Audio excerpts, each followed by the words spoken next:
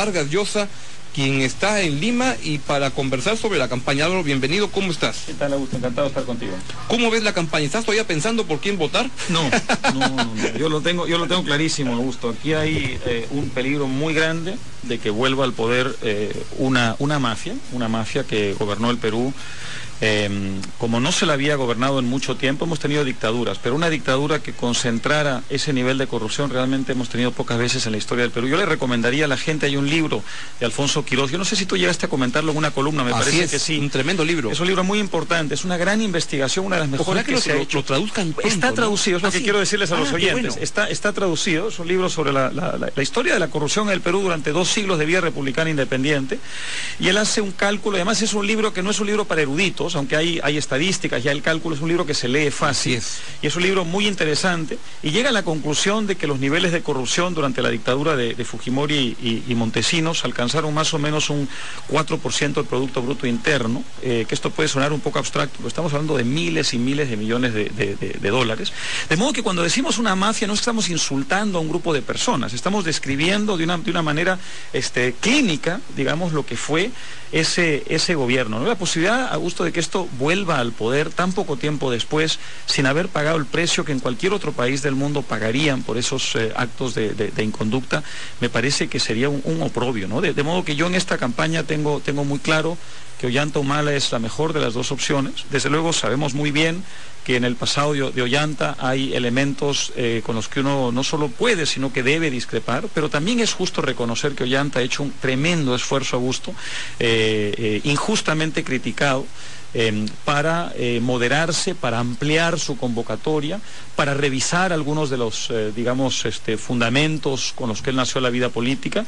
Eh, y a mí eso me da la esperanza de que un gobierno suyo vaya a ser un gobierno que se inscriba dentro de la corriente de la centro-izquierda latinoamericana moderna, decente, que en cierta forma es el mejor antídoto contra el surgimiento del populismo en un país como el Perú. Pues yo también estoy de acuerdo con que si es que el, el Perú tuviera un gobierno de izquierda, como se manejan las cosas en Chile o en Brasil ya pasamos, este, ahí sí ya no, hay, no hay vuelta ya no atrás. Ya, no hay, ahí no hay, no hay, no hay, no.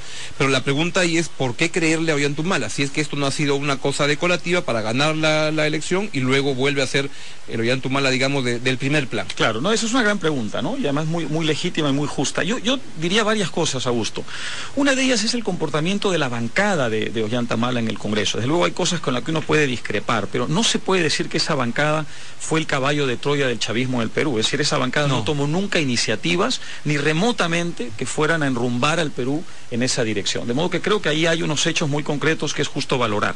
Otro elemento importante es él. Él, viene emitiendo, por lo menos desde 2007, hace cuatro años ya, unas señales bastante claras de distanciamiento total con respecto al chavismo y a esa, y a esa corriente. Otro elemento adicional son la cantidad de gente respetable que ha estado con él. Yo mismo lo primero que hice llegar al Perú hace, hace dos días fue reunirme con él, tuve una larguísima conversación con él de casi tres horas eh, y mucha otra gente respetable que nada tiene que ver con el chavismo se ha reunido con él y ha salido de allí, y me lo ha dicho personalmente, totalmente convencida de que él ha dado el, salto, digamos, a la modernidad, que es un hombre que tiene muy claro que sería el, decir, el peor crimen que él podría cometer tratar de insertar al Perú en esa corriente. Y finalmente, lo que está pasando en el plano internacional, es decir, eso no ha rebotado suficiente en el Perú, pero yo puedo traer esta, novedad, digamos, hay gente muy respetable de América Latina que está diciendo eh, eh, en muchos lugares del mundo que Ollanta Humala no representa ningún peligro para eh, la democracia peruana y tampoco para económico, un modelo económico que hay que ampliar, perfeccionar, profundizar,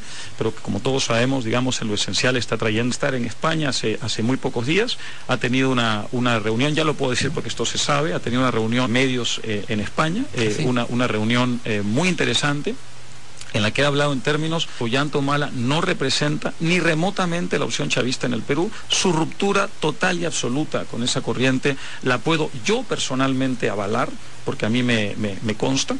Eh, y en esos mismos términos se han pronunciado incluso miembros de la oposición venezolana. Yo soy un crítico, como tú sabes, de chavismo. Si yo tuviera alguna vinculación, eh, si, alguna duda de que Chávez eh, y, Humala van a hacer alianzas si él estuviera en el poder, jamás apoyaría yo a Joan Humala, porque yo soy un crítico implacable del chavismo. Yo fui arrestado en Caracas por ir a criticar a Hugo Chávez y pedir libertad. El que no me crea puede acudir a Internet a la cantidad de informaciones que hay disponibles, incluso videos de mi arresto, de de modo que estoy hablando con algo de autoridad y muchos miembros de la oposición venezolana desde hace ya algunos años me dicen que una gran frustración de Hugo Chávez es no haber logrado en el Perú un vasallo, que es lo que él quería y es lo que él intentó a partir del 2000, 2005, 2000, 2006. De modo que, Augusto, no puedo pronosticar el futuro, yo no te puedo, digamos, yo no tengo una bola de cristal, pero tengo indicios razonables y acumulativos de que Humala no representa eso en el, en, el Perú. Y yo, siendo alguien que tiene discrepancias, desde luego, con algunos elementos del plan de gobierno, eh, que soy un liberal,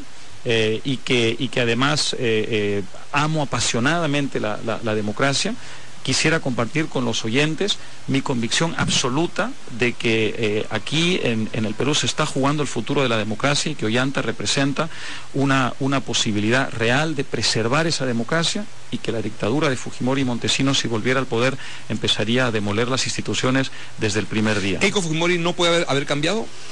Mira, el problema, Augusto, es que en los últimos 10 años la conducta tanto de ella como de quienes colaboran con ella no ha sido esa, pues, ¿no? Ella ha estado negando la vinculación incluso de Montesinos con el crimen, por ejemplo, de la Cantuta, para poner un solo ejemplo, hasta hace muy poco tiempo. Dos años, algo así. Ellos nacieron a la vida, es decir, en esta nueva etapa de ese proyecto político, nacieron a la vida política básicamente para reivindicar al padre para reivindicarlo penalmente y para reivindicarlo luego políticamente. Desde luego eso evoluciona en las últimas semanas porque se han encontrado un escenario donde de pronto pueden ser gobierno. Entonces es lógico que ellos estén ahora haciendo distinto tipo de ofrecimientos, que no son creíbles porque la conducta en los últimos años de, esa, de esa, mafia eh, es básicamente la de un grupo de gentes que no han entendido que el Perú reaccionó en el año 2000 absolutamente asqueado de lo que estaba pasando, avergonzado del espectáculo que dábamos ante el mundo de habernos convertido en una república bananera. No hay derecho que apenas 10 años después, Augusto, estemos eh, eh, fletándole al Perú nuevamente, ¿no es cierto?, un proyecto de tipo autoritario y de tipo eh, corrupto. Yo creo que es muy importante reaccionar, perder el miedo eh, no permitir que esta campaña de demolición contra, contra Ollanta, que en algunos casos puede partir de cuestionamientos legítimos, pero que en otros, como, como es perfectamente obvio, tiene un elemento tremendo de, abuso de poder, eh, vaya a opacar esta tremenda verdad. La disyuntiva es preservamos la democracia con Ollanta, haciendo todos presión sobre él para que se conduzca con arreglo, por supuesto, al sistema constitucional y a los buenos aspectos del modelo, o permitimos que otra vez vuelva al poder una mafia eh, de muy incierto pronóstico para Hacemos la una breve pausa y volvemos.